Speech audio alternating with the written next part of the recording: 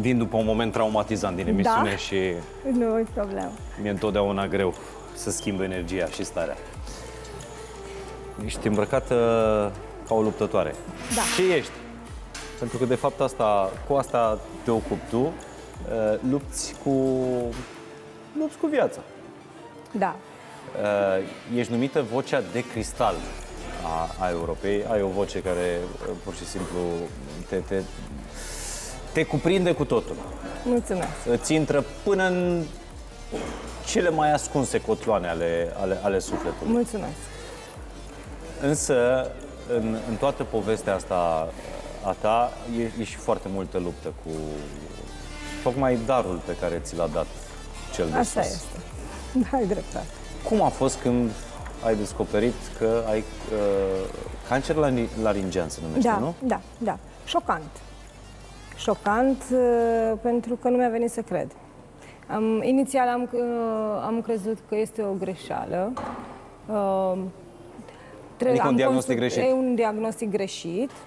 Uh, părerile au fost diferite, dar până la urmă, după cea de-a cincea operație, am, m-am predat și am înțeles că despre asta este vorba. Cinci operații. 9 am, dar după a cincea operație am zis, da, ok, acum mergem pe Adică traseu. cinci operații pe corzile vocale, să Nu, ne nu, nu, înțelegem. nu, în aparatul orele. Problema Mhm. mea nu a, fost, nu a, nu a debutat uh, în direct în laringe. Mhm. Um, s- un pic s-a extins uh, de la, din spatele nasului până înspre laringe. Ultima operație a fost pe corzile vocale, cea de-a noua. Așa, am luat uh, fiecare organ din aparatul orele și fiecare l-am organ a chiuretat, trebuit exact, și să aibă fiecare parte de or- operația lui. chiuretat, da, da. Uh, După care mi-am, a fost totul în regulă, mi-am revenit fabulos.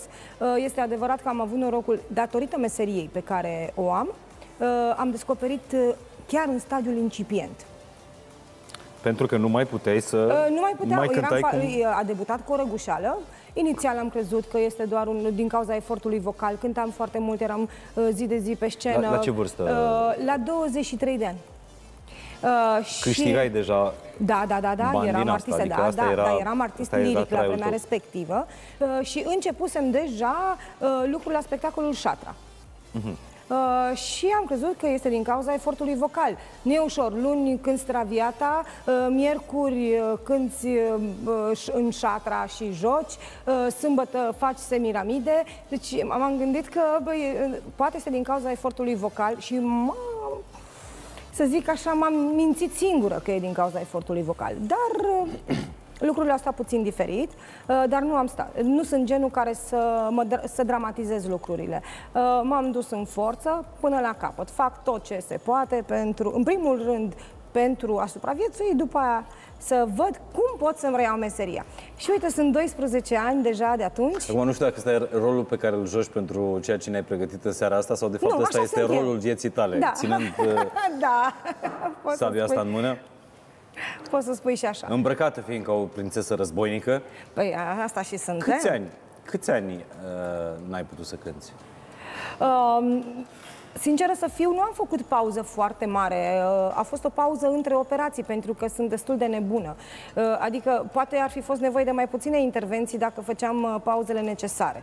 Uh, Dar eu, între operații, chiar la unele, chiar din spital, am fugit să mă duc să-mi țin spectacolele. Uh, Cu orice risc. Cu orice risc. Și uh, nu Medicina este au știut ușor. Uh, Păi dacă am fugit din spital și mi-a spus, îți asumi, te-ai întors, nu te mai operezi. Cu mine nu mai vorbești.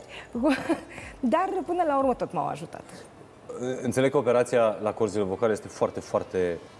Da, ul- cea, Complicată, da. De Atunci o am finețe. făcut, da, atunci am făcut uh, pauza vocală.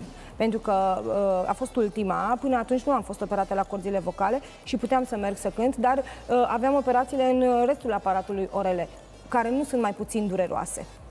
Uh, și uh, uh, după ultima operație am făcut o pauză destul de lungă, de șapte luni, Uh, inițial am crezut că este o pauză totală și că... Că nu vei mai cânta vreodată. Că nu voi mai, nu voi mai cânta vreodată. Începusem să mă gândesc că ar fi interesant măcar o, o parțial să am o voce decentă pentru a vorbi, că nu e ușor, nu e tot una să spui dragul meu sau dragul meu. da. Cam așa vorbeai tu. Uh, de- Da, vorbeam. De cântat nici vorbă. Nu, nu, nu. Dar încet, încet, uh, Prin exercițiu, prin exercițiu, prin foarte multe exerciții de foniatrie, ani de exerciții, ani, ani. zi ai de zi. revenit la vocea de dinainte sau... Uh, acum, după Vorbim de cu 12 totul și cu ani, pot să totul spun alte că emisii. 90, 90%. Da. Dar nu am, uh, nu am mai folosit uh, emisia de clasic. Dar acum, în proporție de 90%, mi-am recăpătat glasul. Uh, N-aș vrea să fiu arogantă să spun că în proporție de 100%, uh, pentru că încă nu am încercat efortul susținut uh, în registrul de clasic.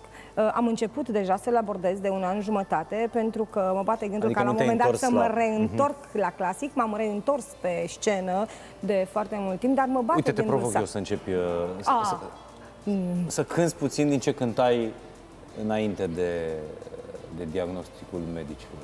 Ah, Pe bune? Acum te încălzești sau... uh, Nu. Uh, Sau să-mi să cânti orice. abordez, uh, să abordez registrul de clasic. uh, Așa, spui, ușor. Da? Uh, Așa, ușor? Că nu suntem mari cuno- cunoscători, adică ia, ia ne ușor, așa, Ok. ca profani. Uh, Stai să mă gândesc uh, ca ce să abordez. Să abordez din musicalul actual, pentru că și aici am... Uh, uh, Registru clasic. G- Da, folosesc și aici registrul clasic, da. De cuțit vor fi tăiați și de corbi vor fi mâncați. Deci, uh, Deci e bine. e bine, e de bine. Uh, în 2-3 ani traviata. Uh, nu cred că traviata, un pic mai jos, dar undeva acolo. O să abordez probabil repertoriul liricospii.